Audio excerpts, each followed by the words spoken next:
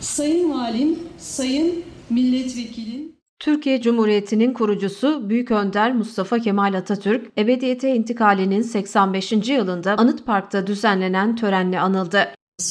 Valilik makamı çelengi, valimiz Törene Bolu Valisi Erkan Kılıç, MHP Bolu Milletvekili İsmail Akgül, CHP Bolu Milletvekili Türker Ateş, Bolu Belediye Başkanı Tanju Özcan, Garnizon Komutan Vekili Kıdemli Albay Cavit Nartop, vali yardımcıları, kurum müdürleri, siyasi parti temsilcileri, askeri erkan, şehit yakınları, gaziler, sivil toplum kuruluşu temsilcileri, öğrenciler, öğretmenler ve vatandaşlar katıldı.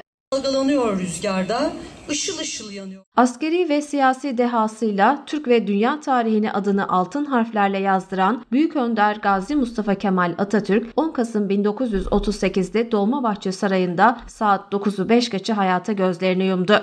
Bolu Valiliği, Garnizon Komutanlığı, Belediye Başkanlığı, siyasi partiler ve bazı sivil toplum kuruluşlarının çelenklerinin Atatürk anıtına sunumundan sonra 2 dakikalık saygı duruşu yapıldı.